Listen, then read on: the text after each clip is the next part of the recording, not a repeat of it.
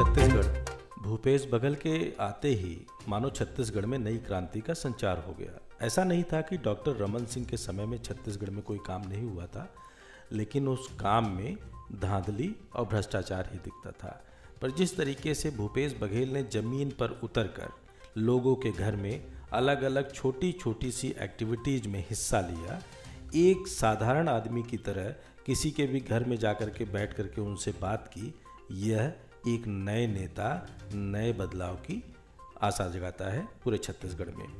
और आज देखिए, ये छोटे छोटे मूक बधिर बालक, जो कि कहीं ना कहीं से दिव्यांग बोलें, विकलांग बोलें, चूँकि शब्दों का फेर है। लोग विकलांग को दिव्यांग कह करके सोचते हैं कि नहीं, हम इनको सम्मान दे रहे हैं, लेकिन उससे कोई फ़र्क नहीं पड़ता, क्योंकि उनकी असली हकीकत उनको पता है। हाँ हौसला अफजाई और उनके जोश को अगर हम आप बढ़ा पाएँ तो ये अच्छी बात होगी। आइए देखते हैं कि छोटी बच्ची ने कितना मधुर संगीत गाया है। वो भी छत्तीसगढ़िया भाषा में, छत्तीसगढ़ की आम बोलचाल, आम संगीत की तरीके से।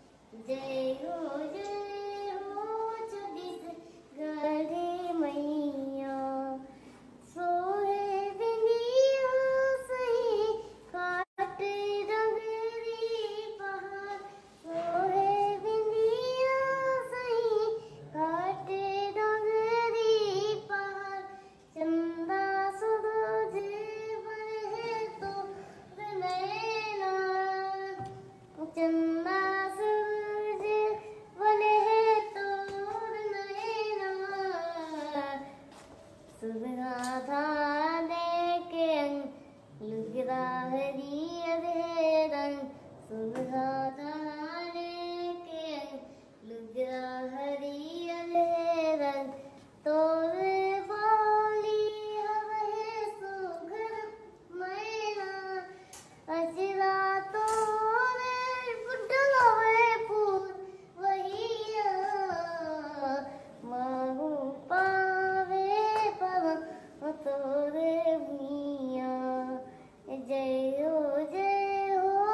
दूस गर